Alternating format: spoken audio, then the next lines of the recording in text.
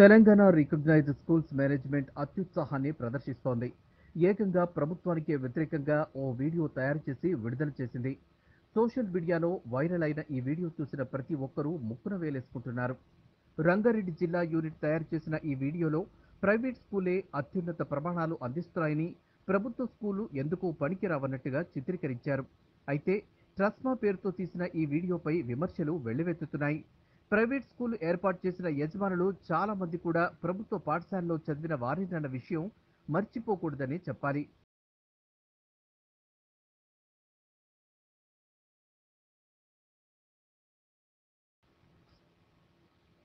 ఉచితం అంటూ ప్రభుత్వం విద్యార్థులకు ఎరవేస్తుందని కూడా చెప్తున్న ట్రస్ట్ తక్కువ ఫీజులతో విద్యాబోధన చేస్తోందని చెప్తోంది.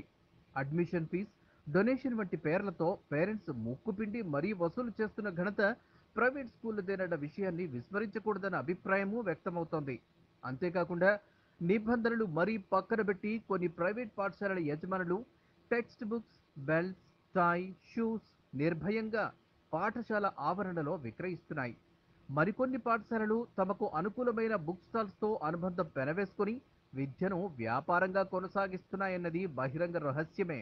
అయినా ప్రైవేట్ పాఠశాలల యజమానులు ప్రభుత్వం నుండి అనుమతి తీసుకొని అదే ప్రభుత్వాన్ని ప్రభుత్వం అందిస్తున్న విద్యా విధానాన్ని విమర్శించటం ఎంతవరకు సమంజసమో ట్రస్మా ప్రతినిధులకే తెలియాలి. ఇదే సమయంలో ప్రతి పాఠశాల ప్రభుత్వ నిబంధనలకు అనుగుణంగా నిర్వహించడం లేదన్నది వాస్తవమే అయినా అక్షరాస్యత పెంచడంతో పాటు విద్యా వ్యాప్తి కోసం ప్రైవేట్ పాఠశాలల భాగస్వామ్యం అవుతున్నాయన్న కొన్ని చిన్న చిన్న కారణాలతో నిబంధనలనే పట్టించుకోని పరిస్థితి ఉంది. దీంతో పీఈటీలను నియమించినట్లు తమ పాఠశాలలో పనిచేస్తున్న ఉపాధ్యాయులు ఇతర ఉద్యోగులకు పీఎఫ్ కట్టకుండా ప్లే గ్రౌండ్ లేకుండా ఉన్నట్లు నిబంధనలకే టెండర్ వేసిన ఘనత ఈ ప్రైవేట్ స్కూల్ యజమానులది కాదా అన్న ప్రశ్నలు తలెత్తుతున్నాయి.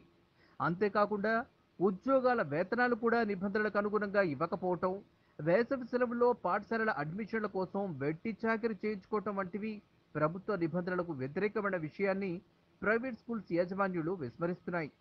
ప్రభుత్వం కూడా ప్రైవేట్ పాఠశాలల ఇష్టారాజ్యంపై నియంత్రించకపోవటం వల్లే ఇప్పుడు అవి ఏకంగా తమ అస్త్రాన్ని ప్రభుత్వంపై ఎక్కుపెట్టాయన్న వాదనలు కూడా వినిపిస్తున్నాయి. విద్యా హక్కు చట్టం ప్రకారం ఐదేళ్ళు నిండిన చిన్నారులనే బడిలో చేర్పించాలని ఉంది. అయితే ప్రైవేట్ విద్యా వ్యవస్థలో ప్రీ ప్రైమరీ నర్సరీ అంటూ రెండేళ్ళు దాటగానే పసివాళ్ళను బడిబాట పట్టిస్తున్న ఘనత కూడా మన ప్రైవేట్ విద్యా వ్యవస్థ అన్న విషయం గమనించాలి. ఇందుకు కొన్ని జిల్లాలో నర్సరీ విద్యకు కూడా విద్యాశాఖ అధికారులు అనుమతులిచ్చి తమ ఉదారతను చాటుకున్నారని చెప్పాలి. చట్టాన్ని అతిక్రమించి మరీ విద్యాశాఖ అధికారులు ప్రీ ప్రైమరీ నర్సరీ విద్యా సంస్థలకు ఎలా అనుమతులు ఇచ్చారో ఆ దేవుడికే తెలియాలి. చట్టాలను కూడా పక్కన పెట్టి మరీ అనుమతులు అడ్డగోలుగా ఇవ్వటం వల్లే ప్రైవేట్ పాఠశాలలు ఇప్పుడు ఏకంగా ప్రభుత్వాన్ని ఉచిత విద్యను ఎగతాళి చేస్తూ విష ప్రచారానికి శ్రీకారం చుట్టాయని ప్రభుత్వ ఉపాధ్యాయులు వ్యాఖ్యానిస్తున్నారు. ఇలాంటివి శృతి మించకముందే ప్రభుత్వం కట్టడి చేసేందుకు ప్రత్యేక దృష్టి సారించకపోతే మరింత రెచ్చిపోయే ప్రమాదం ఉంది. ముఖ్యమైన విషయాన్ని అటు ప్రభుత్వమైనా ఇటు ప్రైవేట్ పాఠశాలల యజమానులైనా విస్మరిస్తున్నాయని చెప్పక తప్పదు.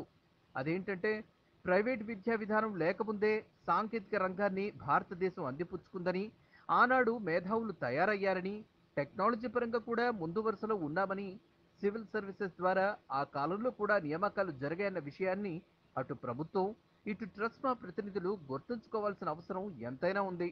ఇలాంటి విభిన్న సమాచారాలను ఎప్పటికప్పుడు తెలుసుకోవాలంటే మీరు మా స్పిన్స్ న్యూస్ ఛానల్ను సబ్స్క్రైబ్ చేసుకుని ఆ పక్కనే ఉన్న గంట సింబల్ని ప్రెస్ చేయండి.